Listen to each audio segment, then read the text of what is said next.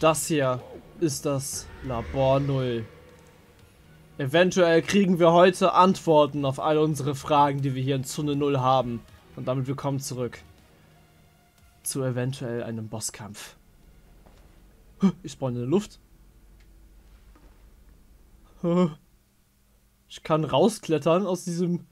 Es wirkt wie so ein riesiger Lüftungsschacht oder wie so ein Abwasserkanal. Okay, spawn wieder einfach in der Luft. Ähm. Na gut, dann äh, müssen wir da wohl durch. Was zum... Menschliche Präsenz im Labor null erkannt. Da ist sie. Sie scheint nicht menschlich zu sein, oder?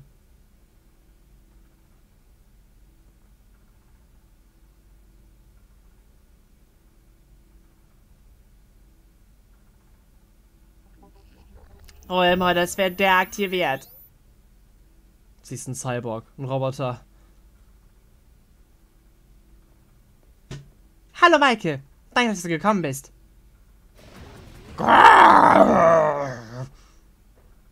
Das andere Koraidon. Meisterball? Zurück mit dir. Was, was geht hier ab? Dieses Pokémon ist weitaus aggressiver als das Exemplar, das du bei dir hast. Dein Koraidon ist aus Zone 0 geflohen, weil es einen Revierkampf verloren hat. Okay, okay. Das war das Angst. Ich fürchte, es gibt da etwas, für das ich mich bei euch entschuldigen muss. Ich bin nicht die echte Professor Antiqua. Wer sind Sie dann? Ich bin eine künstliche Intelligenz, die von der Professorin basierend auf ihrem Wissen und ihren Erinnerungen geschaffen wurde. Kurz gesagt, ich bin eine Maschine, die von einer KI gesteuert wird. Die echte Professorin, mein Original, ist bei dem Unfall in der Observationsstation 4 ums Leben gekommen. Ums Leben gekommen? Das Pokémon trägt keine Schuld. Mein Original hat seine Stärke unterschätzt. Die Professorin wollte Koraidon um jeden Preis schützen. Sie wollte, dass es ein glückliches Leben führen kann. Deshalb opferte sie sich selbst. Schon vom Augenblick an, als Direktor Clavel uns auf meinen Wunsch hin bekannt machte, sprachst du mit mir, Antiquas KI. Maike, bitte höre mir aufmerksam zu. Ich habe dich nach Zone 0 gebeten, weil ich dich um einen letzten Gefallen bitten möchte. Es geht um Folgendes. Ich will, dass du die Zeitmaschine abschaltest, die von meinem Original geschaffen wurde. Deine Fragen werde ich im Fahrstuhl beantworten. Folge mir bitte. Die Zeitmaschine zerstören? Also, dass sie ein Roboter ist, wundert mich nicht, aber wow, die ist einfach gestorben, die Mutter. Ich meine, Pepper mochte sie sowieso nicht, aber ist trotzdem hart. Und willst du mich veräppeln? Ich habe meine Pokémon vorhin heilt mit Items. Das ist, äh, ja, cool. Naja, kostenlose Heilung nehme ich trotzdem mit, wenn ich sie bekomme. Auch wenn der Sound gerade komisch war. Energiekapsel. Eine Kapsel voller Energie gibt man dem Pokémon mit einer bestimmten Fähigkeit zum Tragen. Irgendwas, okay. Was macht sie denn hier? Kopiert sie irgendwas? Du kannst seltsame Klumpen in der Maschine erkennen, die wie Felsen aussehen. Okay. Wir begeben uns nach unten. Steig bitte ein. Okay. Boah, krieg ich richtig Gänsehaut.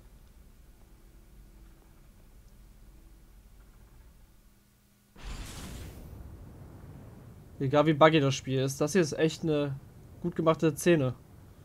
Es ist eine große Erleichterung für mich, dass du gekommen bist, Michael. Ich werde alle deine Fragen beantworten. Was möchtest du wissen? Äh, was ist diese Zeitmaschine? Die Zeitmaschine ist ein Gerät, an dem mein Original und ich gemeinsam gearbeitet haben. Mit ihr ist es möglich, Pokémon in ein anderes Zeitalter zu schicken, um dort Pokémon zu fangen und sie in der Gegenwart zu transportieren. Professor Antiqua war zu Lebzeiten stets vor Pokémon aus anderen Zeitaltern fasziniert. Insbesondere von Pokémon aus der Vergangenheit. Auch jetzt ist die Zeitmaschine noch aktiv und holt weiter automatisch Pokémon aus der Vergangenheit zu uns in die Gegenwart.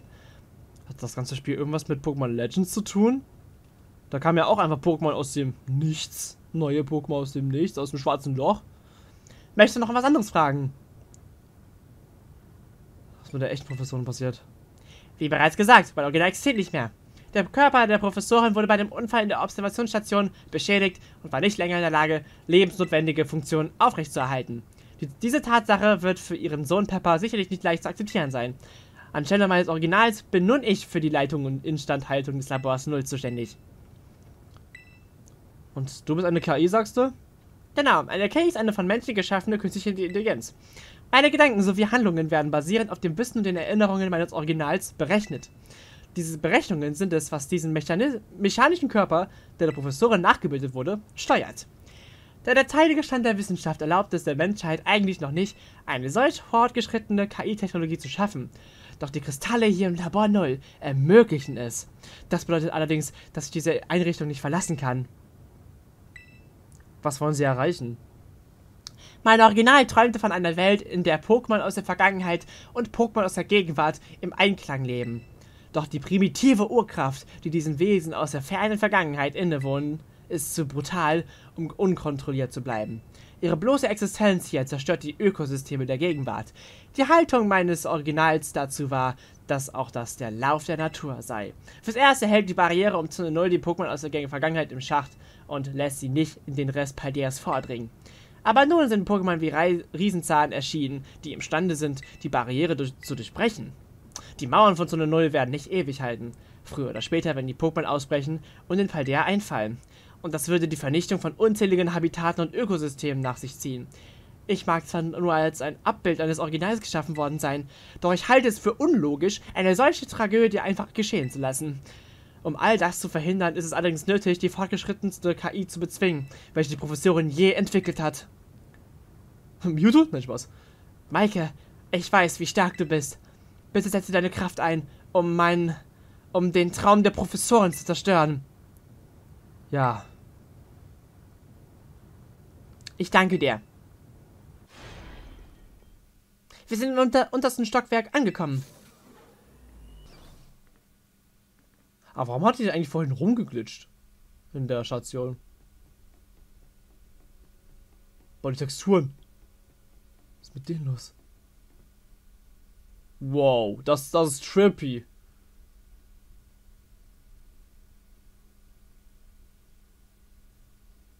Wow. Schau nur, das ist sie. Das ist die Zeitmaschine, die wir mit der Energie der Terrakristallisierung perfektioniert haben. Okay. Äh, ja, cool. Bin wieder weg. Das geht? Nein, das war ein Witz. Nein. Nein, das wollte ich nicht. Lass mich wieder zurück. Was bringt mir das jetzt überhaupt, wieder zurückzugehen?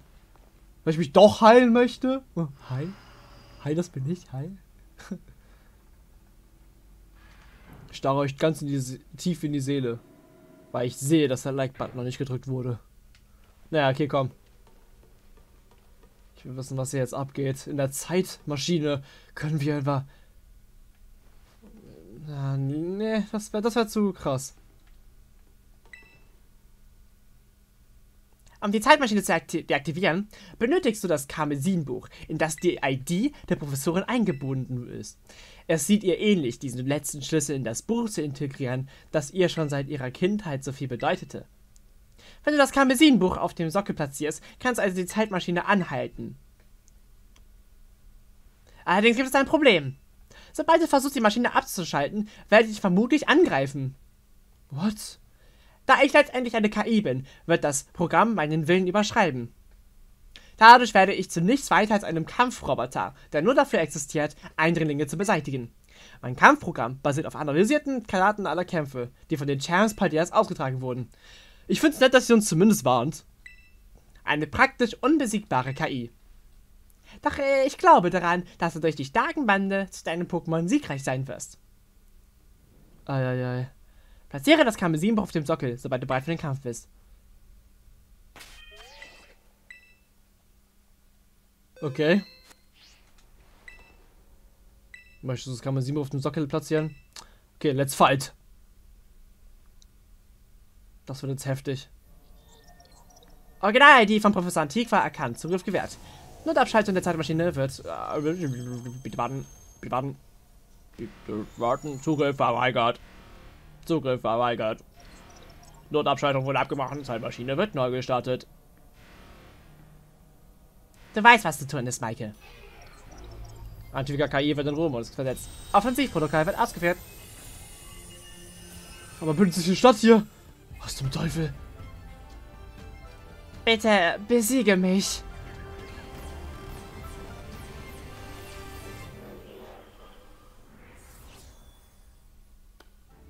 Mein Traum. Nein, nein. Stimmen müssen entfernt werden.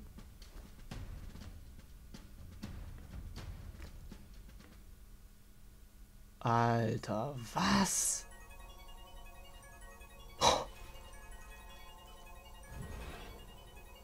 Die Antiqua-KI fordert dich heraus. Und sie hat das Koraldon, stimmt's? Nein! Kriechflug, ein neues Pokémon. Es sieht aus wie ein, äh, Wie hieß denn das Ding? Ramot oder so? Ich hab's vergessen. Also immer, das ist die 4 aus Stand 5. Was du bist, ist irrelevant. Irgendwelche Störenfriede müssen entfernt werden. Oh, Junge, die dreht komplett ab. Was für ein Typen hat das Ding? Es könnte ein Käfer sein, oder? Ich tue mal meinen Feuer-Pokémon raus, weil ich denke... Oder ein Teig würde mehr Sinn machen. Weil es könnte ja auch Feuer... Na, okay, nee. Jetzt macht es keinen Sinn mehr. Feuer kannst... Ah. Ich bin verwirrt. Aber eventuell... Ich spüre die Macht der Antike. Überwältigend findest du nicht? Jetzt so komisch. Fußtritt. Nein! Nein! Zu Titan! Das Gehirn eines Menschen ist meiner taktischen Datenbank in jeder Hinsicht unterlegen. Hat sie nur neue Pokémon, die wir noch nicht gesehen haben? Das Ding haben wir auf jeden Fall noch nicht gesehen. Was geht zum Teufel hier ab? Sechs Pokémon vor allem und schaut mal, wie overlevelt das Ding ist. Für 66! Sie wird, glaube ich, der schwerste Kampf im ganzen Spiel, Freunde. Faszinierend. Du erkennst die Schwächen eines Pokémon aus der Vergangenheit? Nein, aber ich konnte es mir einfach denken. Ja, daneben. Perfekt. Wir brauchen hier jedes einzelne Glück, was wir bekommen können. Jetzt ist Gleichstand. Das verschwindet einfach aus dem Nichts. Wo sie die ganze Meisterbälle? Da kommt Wutpilz. Da können wir drin bleiben. Wutpilz kennen wir schon. Wirklich alle in Weiß Weißerbällen gefangen. Wir haben selber noch keinen Meister beim ganzen Spiel bekommen. Ah, vielleicht ja nach dem Kampf. Oh, die halten einiges aus. Und boah, was? Nein, das Ding hat Gegenstoß. Damn it. Unser Titan ist down. Ah, mies. Okay. Okay. Dann tue ich super rein. Oh Gott, Leute, das wird ein heftiger und schwerer Kampf. Aber ich habe noch Top-Beleber. Die sollten reichen. Hoffentlich. Vielen da. Bam, bam, bam, bam.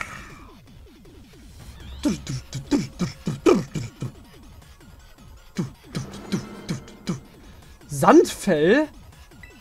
Das hört sich an nach einem Wasser- oder Boden-Pokémon. Da ich mal meinen altbekannten und besten Freund Delphi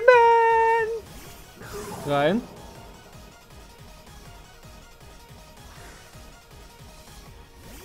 Was? Ein Magneton, aber es steht am Boden. Das erinnert mich ein bisschen an äh, das neue Tentagra, das Tentagra. Boah, krass. Und das erinnert mich ein bisschen an äh, Alola Kleinstein. Hat auch so Stacheln dran. Wahrscheinlich das... Oh, war das ein Elektro-Pokémon bestimmt, oder? Boden. Nee, Gestein? Okay, es killt mich nicht instant. Okay. We've dodged the bullet hier. Ah, jo, das ist ein cooles Design. Wunderwitz, das finde ich cool. Sandfell. Flotter, können wir schon. Leider weiß ich den Typen nicht mehr. Was war das nochmal? Feegeist war das. Aber dagegen habe ich nichts. Verdammt! Äh. Bellyboy, du musst aushalten. Ich muss Top-Beleber bei beim Feuer-Pokémon einsetzen am besten. Ich glaube, die restliche Folge wird nur noch dieser Kampf. Kann das sein? Die Hälfte haben wir schon. Nur weil wir das Pokémon hier kennen, heißt es nicht, dass wir es auf die leichte Schulter nehmen sollten.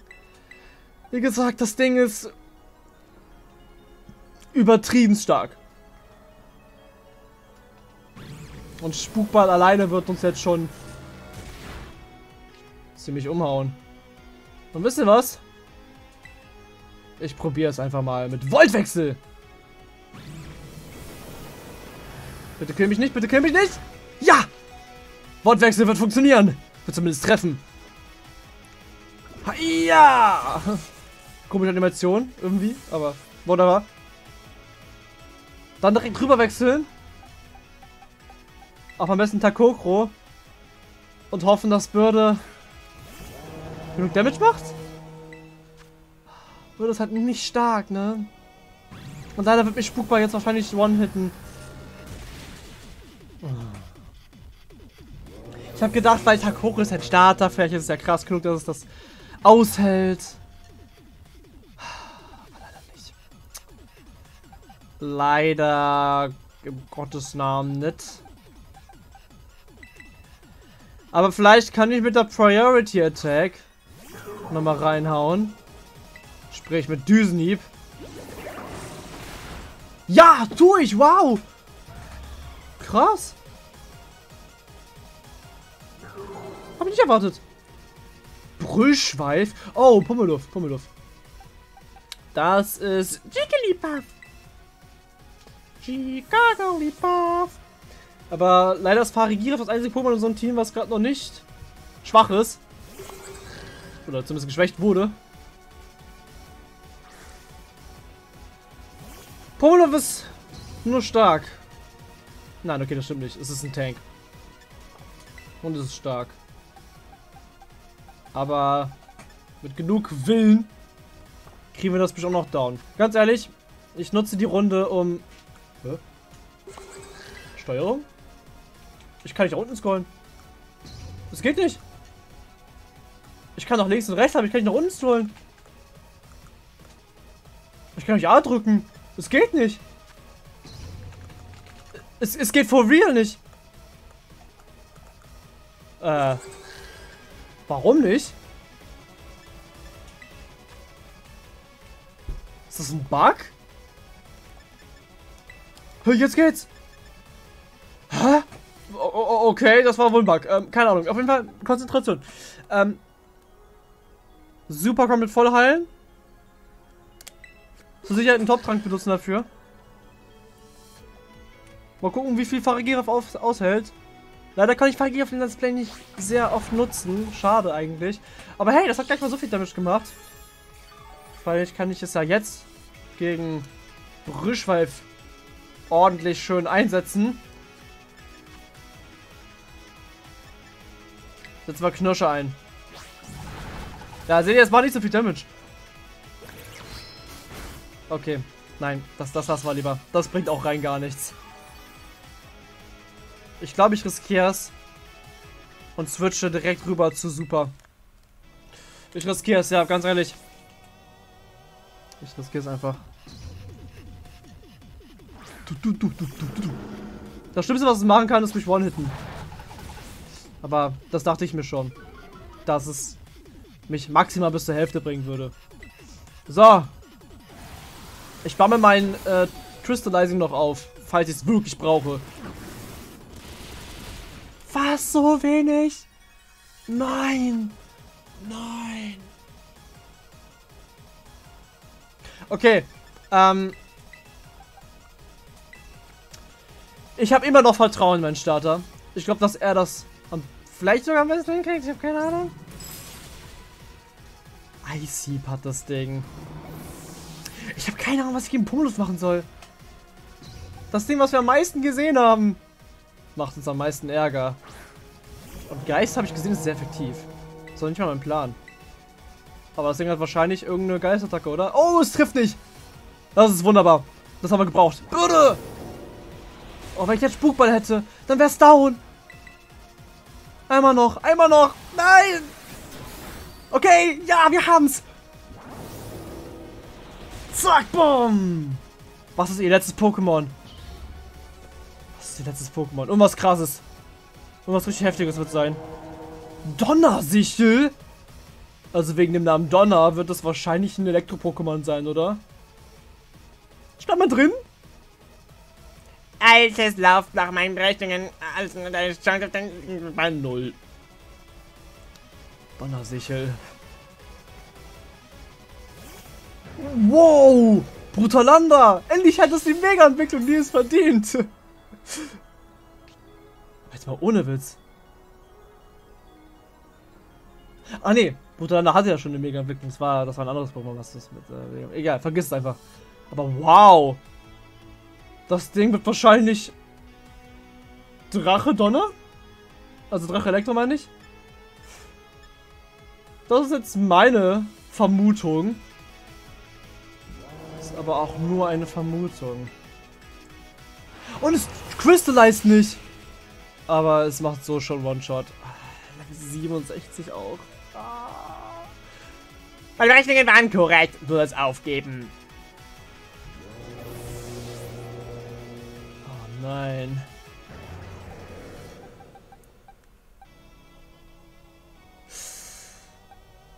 Ich hab nichts mehr.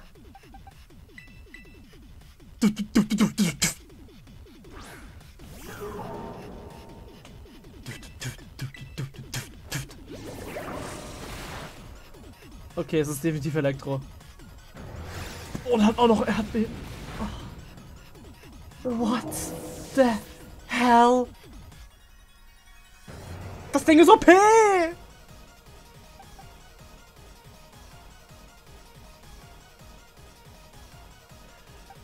Eventuell rette ich super. Ich opfer jetzt mein Pokémon.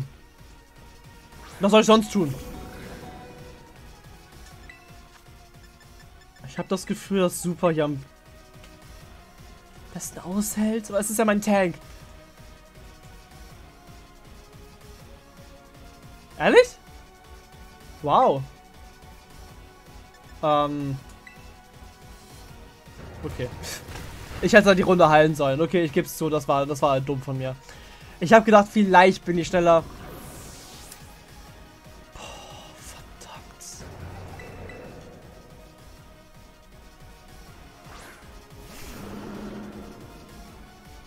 Erdbeben wird nichts bringen. Ich meine, wird es treffen? Ich denke tatsächlich nicht, dass es treffen würde.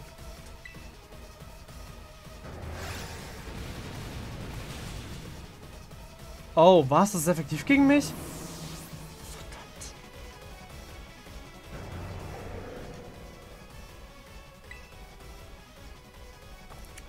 Okay, ich überlege kurz, was ich mache. X-beliebiges.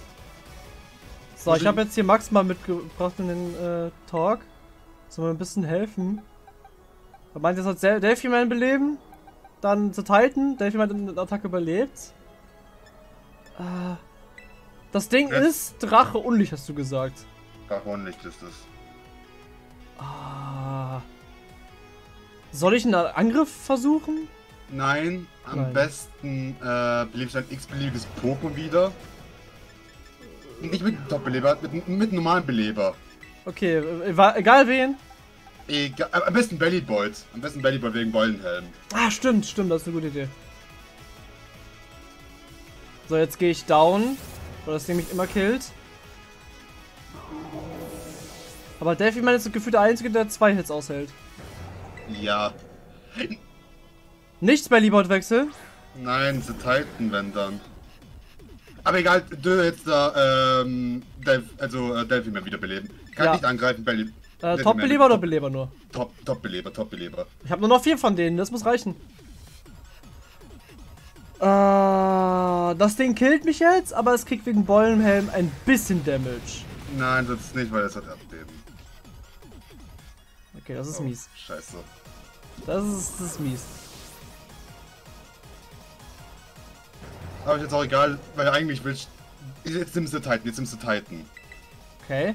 Und du setzt einen Eissplitter ein. Ja, aber Eissplitter ist ja Priority Attack. Ja, Ja, das ist gut. Das macht gut Damage. Ja! Ja! Das hat mich verfehlt! Komm, Critis, Critis, Critis! Jetzt, jetzt kannst du auch mit äh, Düsenhieb bis jetzt auch besiegen.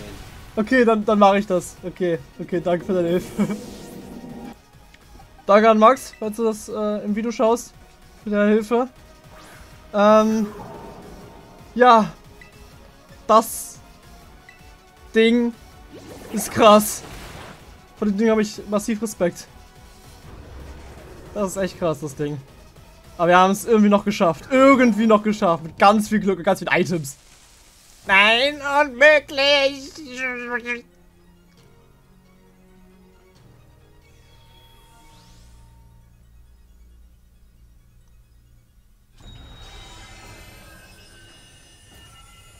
Das war ein langer Kampf. Aber wir haben es geschafft. Irgendwie.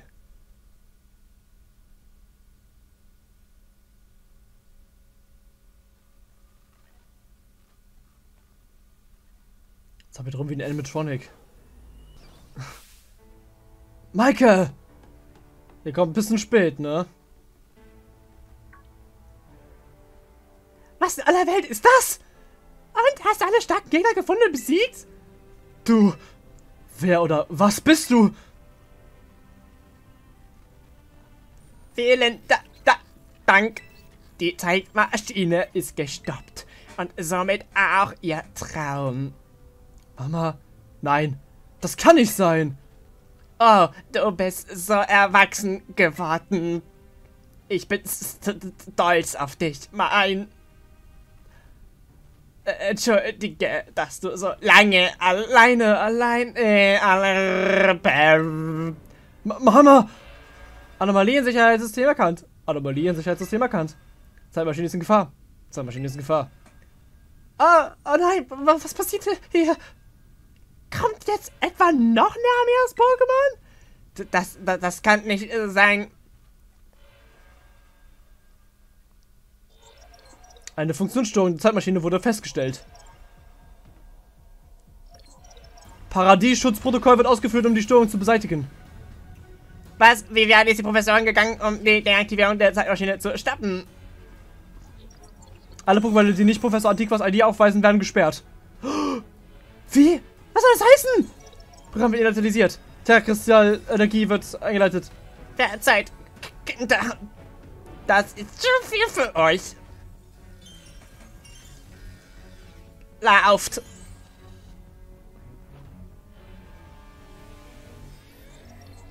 Antiqua KI wurde überschrieben. Paradiesschutzprotokoll ist aktiviert.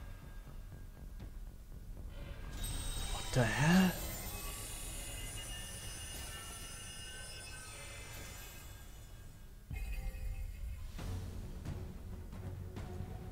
Alle Störungen werden eliminiert. Die Antiqua KI wurde... Das Paradiesschutzprotokoll fordert sich heraus. Ja, das war ein richtig cooler Effekt. Was denn noch ein Kampf? Nein!